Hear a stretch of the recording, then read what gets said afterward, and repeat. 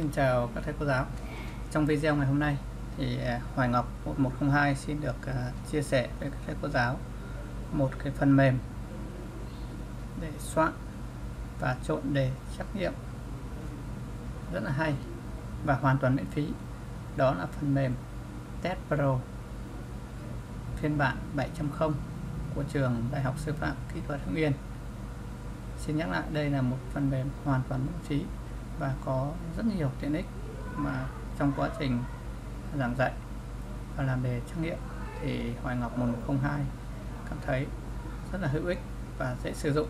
Hôm nay xin được chia sẻ với các cô giáo việc cài đặt cũng như là sử dụng phần mềm này. À, chúng ta sẽ tải cái phần mềm Test Pro 7.0 về máy. Sau đó chúng ta sẽ tiến hành cài đặt và khi cài đặt xong, chúng ta sẽ mở giao diện. Đó. tab Pro 7.0 để chúng ta mở này. Thì à, xin giới thiệu với các thầy cô giáo. Đây là giao diện của phần mềm Test Pro 2017 có các menu, thì menu chọn đề nhập câu hỏi, sửa câu hỏi tiện ích cấu hình và bản quyền. Thì để uh, sử dụng đó thì các thầy cô trước hết là sẽ chọn vào bản quyền. À, khi chọn bản quyền thì máy sẽ phần mềm thể hiện lên mã số máy của cô giáo. Và các thầy cô sẽ lấy mã bản quyền mã cây quyền. À, thì khi thầy cô ấn chọn vào get cây. Thì trên hệ thống của trường Đại học Sư phạm Kỹ thuật Yên sẽ lập tức gửi cho các thầy cô cái mã mã bản quyền.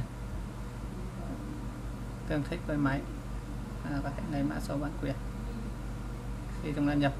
Đầy đủ các thông tin họ và tên à, địa chỉ mail và số điện thoại. Thầy cô hoàn toàn bạn toàn lấy mã bản quyền. Đó. thì hệ thống sẽ cho mã bản quyền để các thầy cô có thể cài đặt và sử dụng, ổn định lâu dài.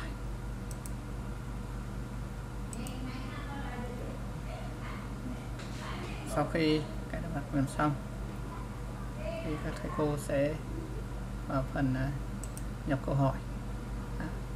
Để nhập câu hỏi, chúng ta sẽ chọn vào thêm cái môn cần nhập thêm môn cần nhập chúng ta chọn thêm môn. Ví dụ chúng ta chọn môn điện. 6 là chọn thêm môn. Đóng lại. Như vậy, ta đã thể có môn địa 6 Đó.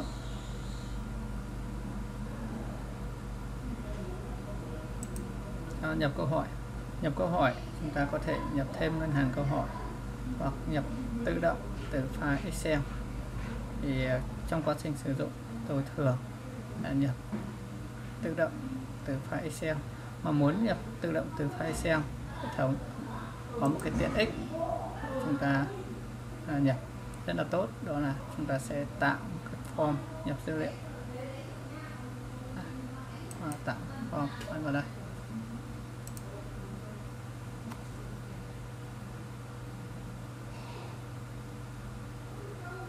Form nhập dữ liệu. À, trước khi nhập các thầy cô đọc qua cái hướng dẫn của cái form nhập dữ liệu.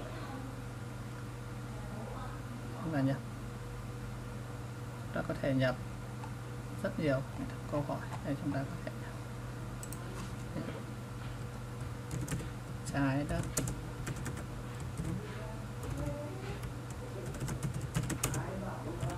Hình gì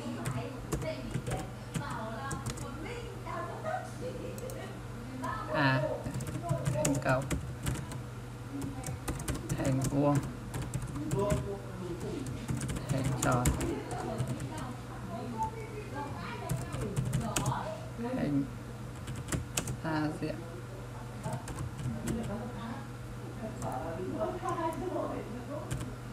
Phần đáp án chúng ta sẽ đáp án.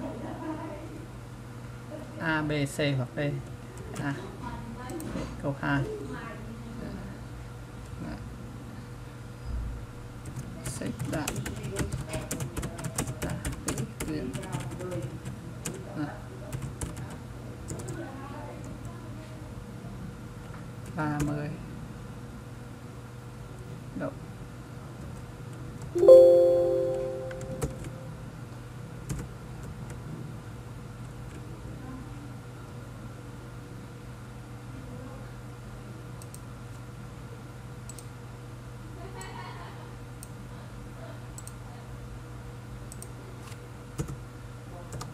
60 độ. Đây. Shift với độ.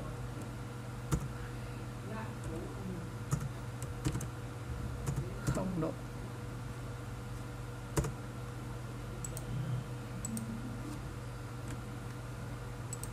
À, thầy à, ví dụ vậy chúng ta lưu lại. Chúng ta lưu. Là có thể đổi tên một cái tệp mẫu.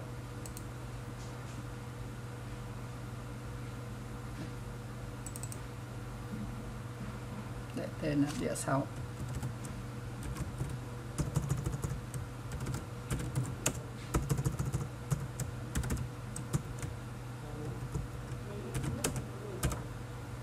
Đó, đây các bạn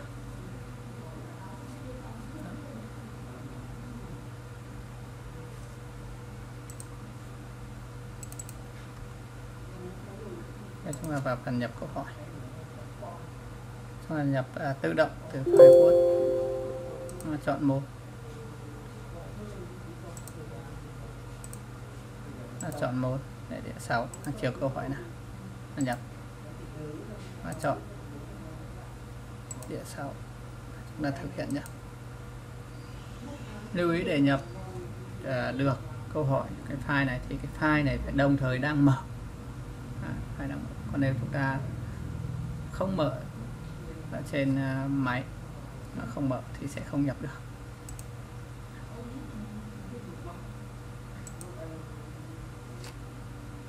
Rồi chúng ta kiểm tra. À, như vậy địa 6 đã có hai câu hỏi. Vậy chúng ta cũng có thể nhập thêm. Cách tương tự. Và chúng ta cũng có thể sửa các câu hỏi. Nguồn địa 6 muốn sửa sẽ thực hiện sửa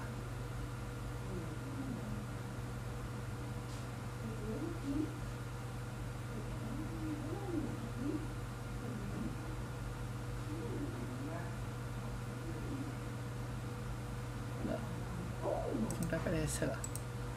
Ví dụ chúng ta không muốn à, chúng ta sửa đáp án. Hoặc chúng ta sửa. 30 chúng ta không muốn để 30 chúng ta cho 50 khi sửa xong chúng ta lưu ngân hàng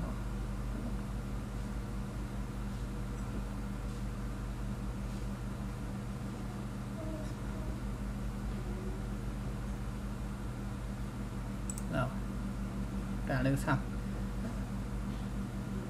Chúng ta cũng có thể thay đổi cái cấu hình. Đó. bằng cách là thiết lập, thay đổi lại cái tiêu đề của bài thi của mình. Thay đổi.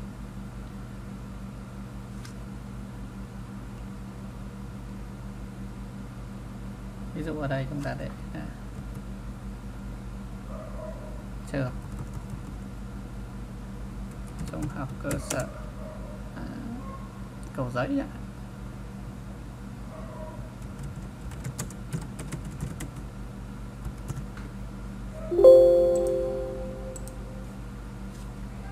để lại tiếng Việt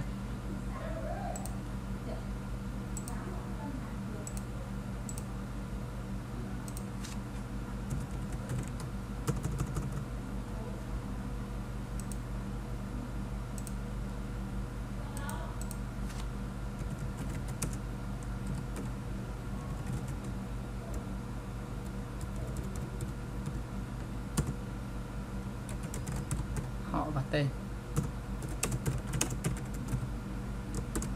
để cho học sinh ghi họ và tên của mình. Lớp.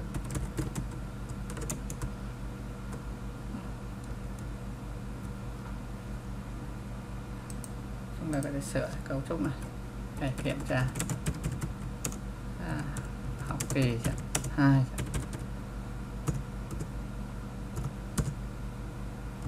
môn địa lý à,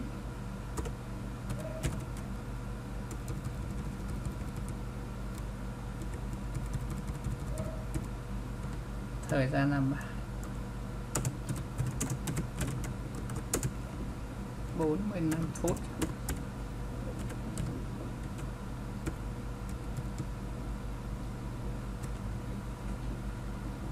Chúng ta có thể để câu hình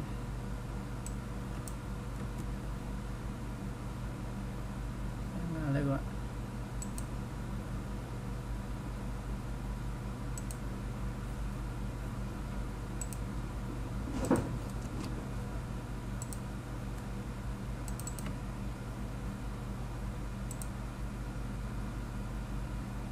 bây giờ chúng ta sẽ tiến hành thì trộn thử cái đây ví dụ nó sẽ chọn cái môn nó muốn trộn à, chọn môn sinh.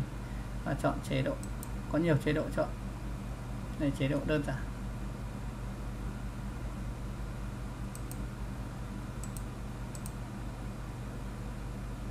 Số câu hỏi mỗi đề thi, chúng ta chọn 10 cấp số lượng đề.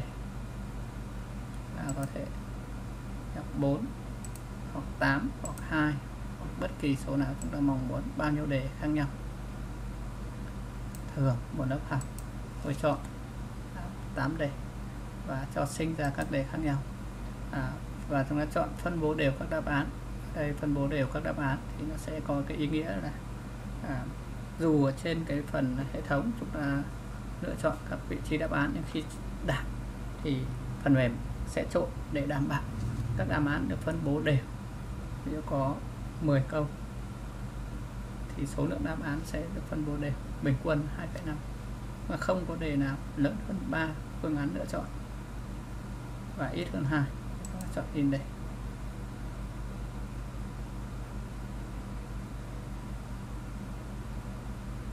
Đó, phần mềm sẽ trộn cho chúng ta cái số lượng đề thi theo như mình mong muốn và sau khi trộn xong thì hệ thống cũng sẽ uh, sắp xếp lại và chỉnh sửa phông chữ. Khá là ổn định để chúng ta có thể thực hiện được.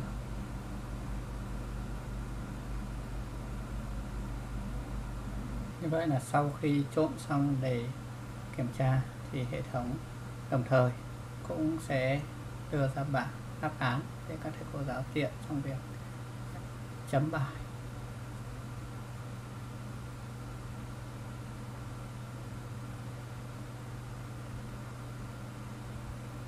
Và sau khi soạn xong đề chúng ta có thể à, chỉnh sửa.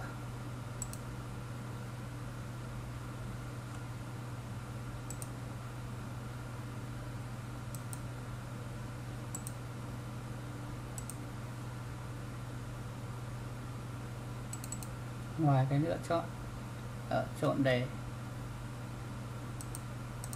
chế độ 1 thì các thầy cô có thể à, lựa chọn chế độ 2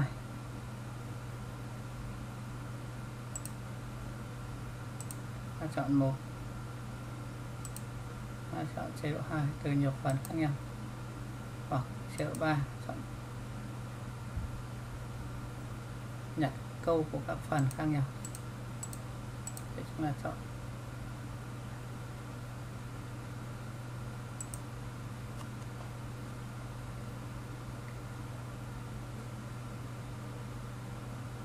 Như vậy là trên đây à, tôi đã chia sẻ với các thầy cô giáo việc cài đặt, sử dụng phần mềm biên soạn và trộn để kiểm tra trắc nghiệm test Pro 2017 có bản quyền của trường Đại học Sư phạm Kỹ thuật Hưng Yên.